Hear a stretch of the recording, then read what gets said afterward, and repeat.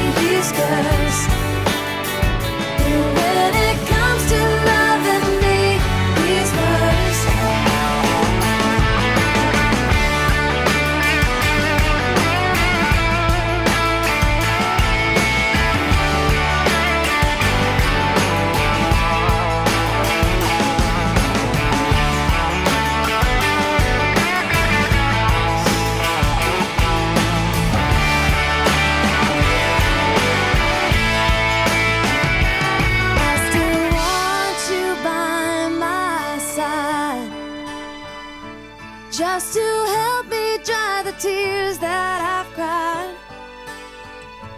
But I'm sure gonna give you a try. Cause if you wanna try to love again,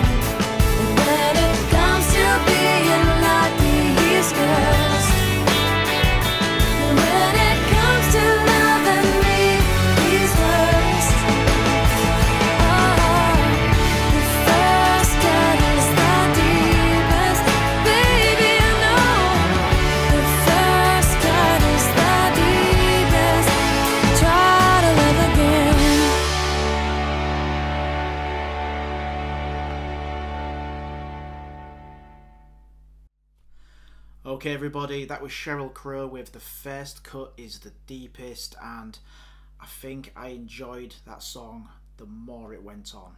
It There was a wonderful charm to it, it was just a wonderful melody, great lyrics, simple tune, wonderful scenery in the video. Everything about it was just stunning. It really was. I suspected I might have been humming along at the end of that song. I think, and I'd have to check back, I think I may have started singing a little bit. Uh, not out loud because nobody wants to hear that, but yeah, it was, yeah, great vocals in that. Really great vocals, and it was wonderful that they were able to shine through, even though, like I say, it was, it was the instrumentation and music was brilliant. Her vocals really shone through on that, and it was it was wonderful to listen to. Every note was just crystal clear. The arrangement was wonderful. Kind of a song that like I think it's going to stick with me. It's going to stick in the head for a few days. I'll I'll be humming along to that one, no doubt. But one thing that did strike me is like I said, the video is beautiful, absolutely beautiful. But a lot of songs and I think a lot of you will agree with me, a lot of songs now, uh, current music, it's so overproduced, so massively overproduced from from the arrangements of the music to the videos, everything is just over the top.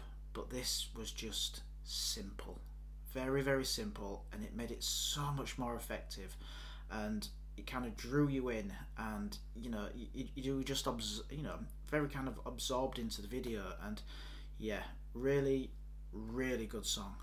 I think, like I say, it's going to resonate with a lot of people. Everybody remembers that first heartbreak, and everyone still has that that scar. And you, you I don't think you ever get over that. You never. I don't think anybody really ever gets over that first heartbreak, and it can happen. So you know, from being a, a kid a, young kid, I think even then you still you still remember it that that, that first girlfriend or boyfriend and yeah, you, you never get over that. But yeah, wonderful song, and yeah, keen to really dig into Sheryl Crow's uh, music a little bit more. So that is up to you guys. So flood the comments with your favourites. Cannot wait to check out what's next. And if you enjoyed this, do me a massive favour, hit that like button and hit the subscribe button. Come on this journey with me. Such a long, long way to go, and it'd be fantastic to have you along. But until then, and until next time, take care. I'll see you soon. Bye for now.